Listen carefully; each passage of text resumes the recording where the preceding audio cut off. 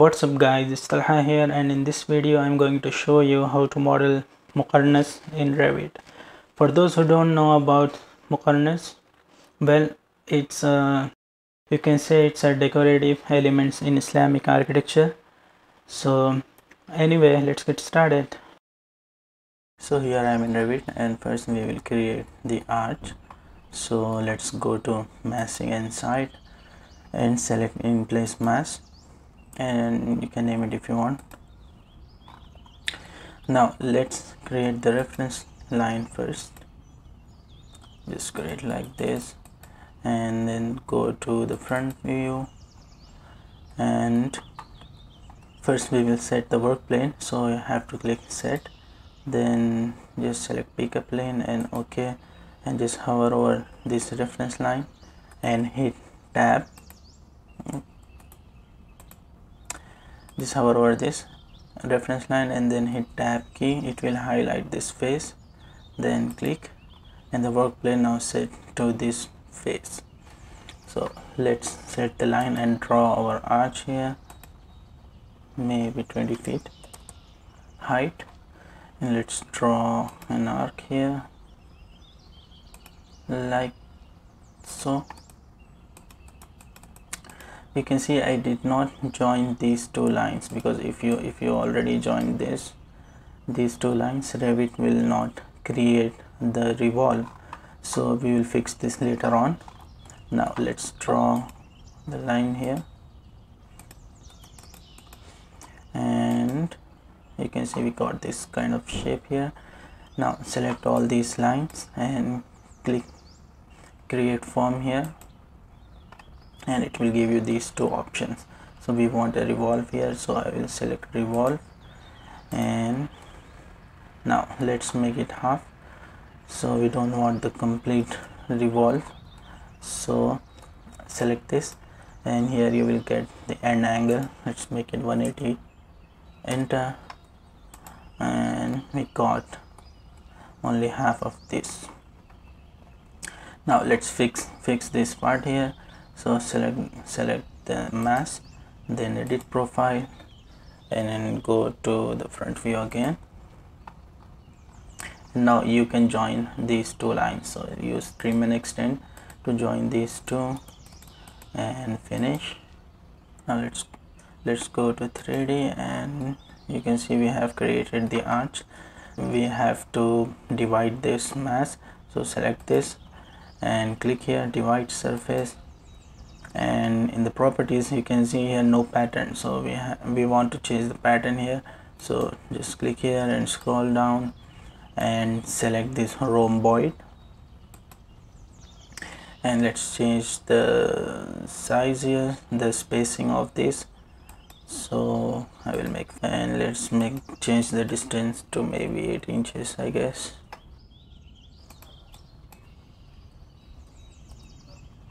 and here also make it 8, 8 inches. So we have finished modeling with this arch now.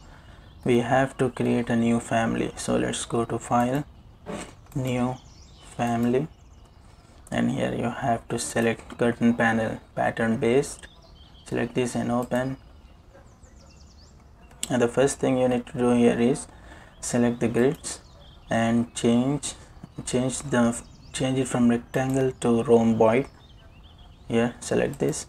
And and let's change the spacing also. Let's make it one foot one foot by one foot. Enter. Now just zoom in. And let's create our pattern. So first let's draw a line from the center to center here. And place this point element in the center of this line. Now we have to set the face we have to set the work plane again. So select set work plane and just hover over this point and it will highlight the face. So click. Now we can draw the vertical line. Uh, maybe six inches.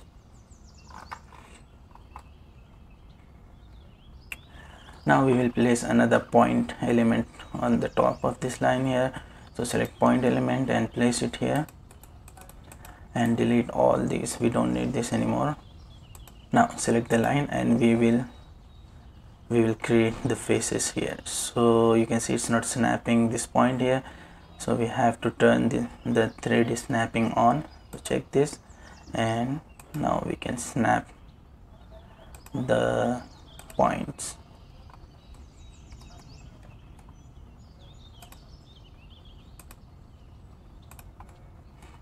okay you can see we have created something like this. Now let's uh, let's create let's uh, make make these face, faces solid. So you have to select these three reference lines and then click create form. Okay it will give you these two options. We want this one.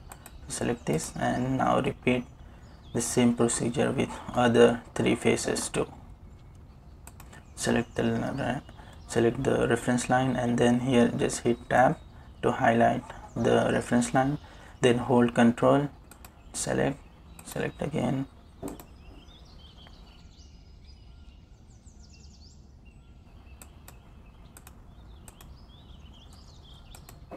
So there you go we have created our pattern. Now let's load this into our project but before that I will add a material parameter to it select all filter and check none. We only want the curtain panels. Select this and ok and here in the materials and finishes just click on this small button here to create a new parameter and then click here. Let's name it. Make type then okay. Okay. Now let's load this into our project let's go to 3d and select this mass and go to the properties. And here you will see the family which we have just created. So select this and there you go. We got our muqarnas design or the pattern in Revit. You can you can change the sizes of these if you want. You can just select the pattern you have to select the mass not the family. So just hit tab key. It will highlight the mass then select. And okay just try to select the mass. Okay still yeah you only need to select the whole thing. Then it will give you the distance here. You can you can change it as per your requirement. You can make them one foot or whatever you like. Now let's try to change the material so you need to hit tab key and select the element. Then edit edit type and you will get the material parameter here.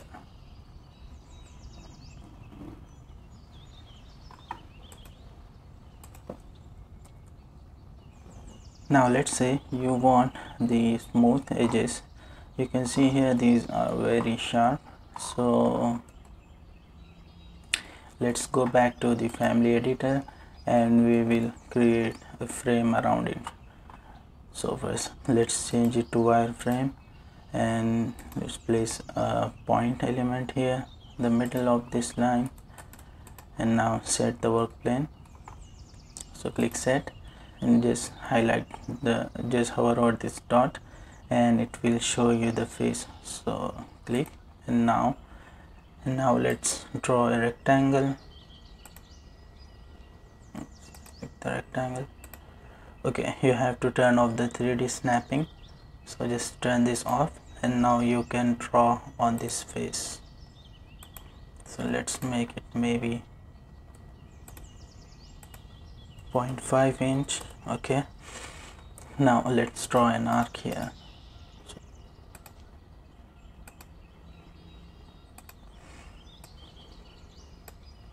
now delete these lines. We don't need them anymore.